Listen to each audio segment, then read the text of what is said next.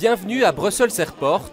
Ce matin, c'est l'affluence dans le hall des départs pour le coup d'envoi des vacances de Pâques. Les bagages sont prêts, tout le monde est paré pour le décollage.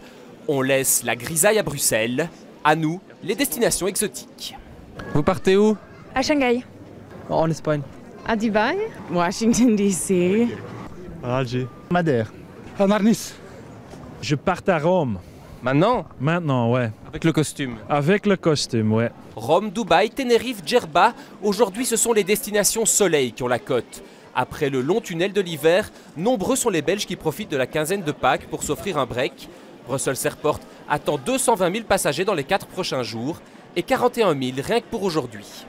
Les prévisions annonçaient euh, plus de 40 000 aujourd'hui, encore ce week-end et jusqu'à lundi, énormément de départs en vacances. Donc effectivement, c'est une journée d'affluence comme euh, chaque veille de grandes vacances. C'est les vacances de Pâques, on profite du congé et euh, voilà, c'est une bonne période pour faire la transition. Comme à toutes les veilles de congés scolaires, les familles avec enfants sont nombreuses dans le hall des départs.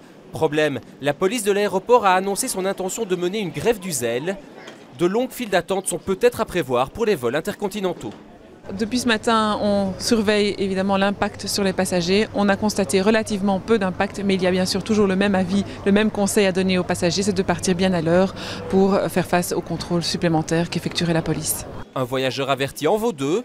Il n'y a plus qu'à se rendre à la porte d'embarquement. Les vacances peuvent commencer.